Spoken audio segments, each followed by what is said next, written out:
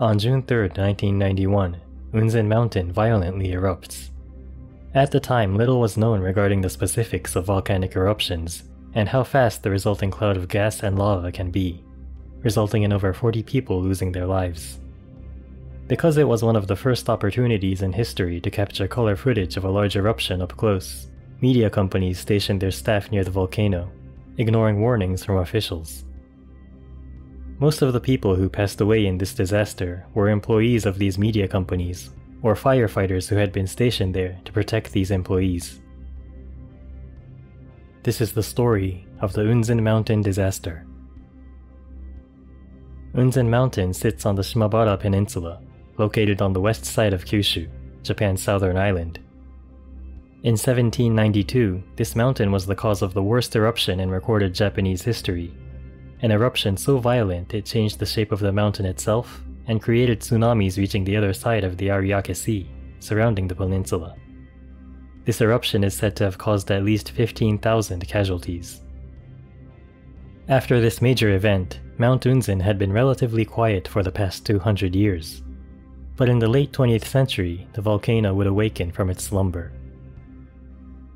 Beginning in 1989, frequent earthquakes would be observed in the area, they were initially originating in the Tachibana Bay, located to the west of the peninsula, but the epicenter of these earthquakes would gradually move inland, towards Mount Unzen.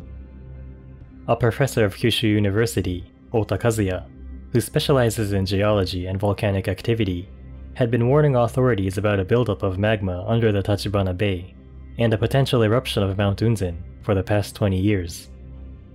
Although he had been more or less ignored, the professor had kept watch on seismic activity in this area, and seeing the frequent earthquakes making their way to Mount Unzen, he was confident an eruption was imminent. Professor Ota would eventually play a critical role in saving the lives of many local citizens.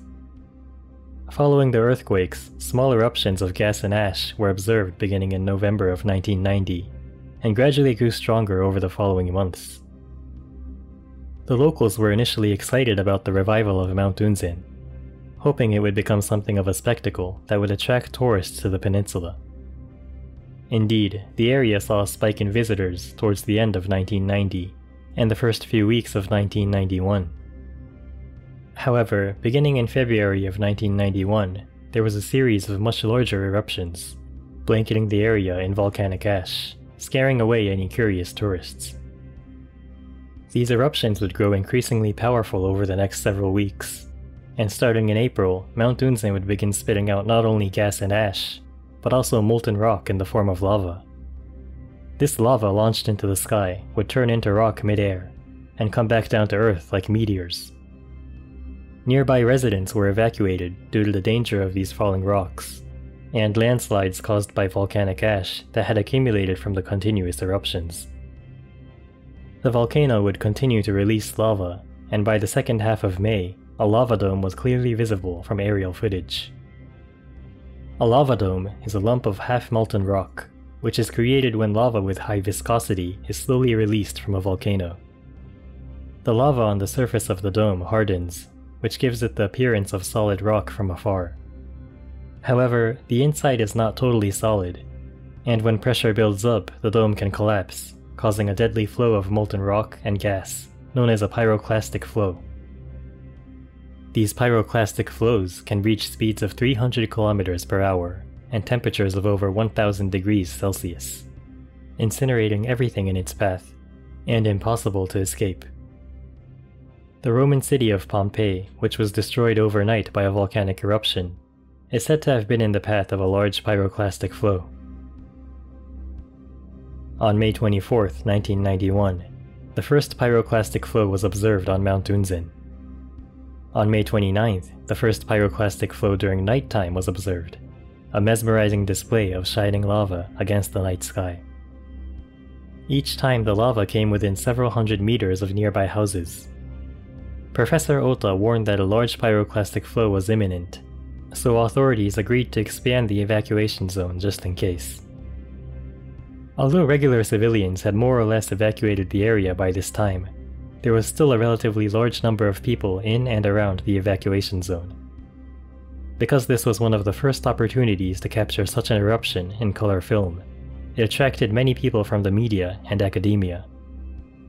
There were some volcanologists that flew into Japan from overseas just to witness this event.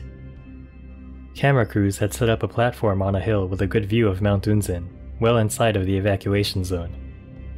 These crews would also venture closer to the volcano during daytime to capture footage of the lava and the damage the series of eruptions had caused up close.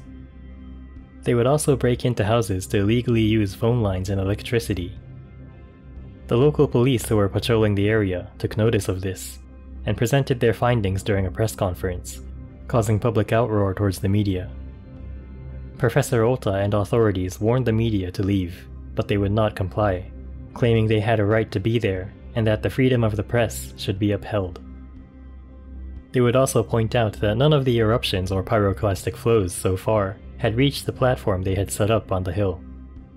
On top of that, they had taxis on standby at the platform 24 7 just in case something really did go wrong. According to them, there was nothing to worry about.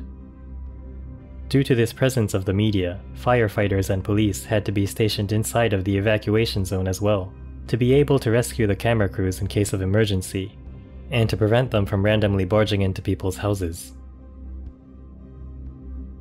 After the pyroclastic flow on May 29th, Mount Unzen had a brief moment of tranquility. The area had been covered by thick clouds for the following days, making it difficult to visually confirm the state of the lava dome. The platform where camera crews had set up was also engulfed in clouds, with visibility of only a few hundred meters at most. On June 3rd, 4.08 pm, the ground suddenly begins to tremble. The lava dome had collapsed, and an avalanche of molten rock and gas was making its way down the mountain at blistering speed. Due to the cloud cover, the camera crews were oblivious to what was happening. They may have even been excited by the ground shaking, hoping they can capture some more eruption footage. By the time they saw the pyroclastic flow making its way directly towards their platform, it was too late. The time from when the lava appeared through the clouds to when the lava swallowed the men was literally several seconds at most. As previously mentioned, they had taxis on standby in case they needed to make a quick getaway, but most of them didn't even make it to the vehicles. Sadly, it appears the cameraman does not always survive. This pyroclastic flow was by far the largest so far, reaching over 4 kilometers from the volcano, destroying hundreds of nearby houses in the process. It came to a halt just 50 meters from the border of the evacuation zone set by Professor Ota. If he had not suggested expanding the zone, the death toll might have been much higher. When the dust settled, 43 casualties were counted. 16 members of the media, 3 foreign volcanologists, 14 policemen and firefighters, 4 taxi drivers, who were there on standby for the camera crews, and 6 other local residents with many more injured. Over the next several years, Mount Unzen would continue its activity, counting over 9,000 eruptions in total, damaging thousands of nearby houses. On July 3, 1996, exactly five years since the devastating pyroclastic flow, the volcano was claimed dormant, falling back into its slumber. In the aftermath, people understandably pointed the finger at the media and their camera crews. If they had complied with the evacuation, the lives of the firefighters, policemen, taxi drivers, and the lives of their own cameramen would have been saved. For a long time, this incident would be the first thing that comes to mind when Japanese people think of volcanic disasters in the modern day and age. But in 2014, another volcano would erupt, claiming the lives of 63 people, which I also have a video on. I'll leave a link in the description below if you're interested. A big thank you to Korbachu and my other Patreons for supporting this channel. Your support is greatly appreciated. As always, thank you for watching until the end. Please like, subscribe, and turn on notifications so you don't miss the next video. I'll see you next time.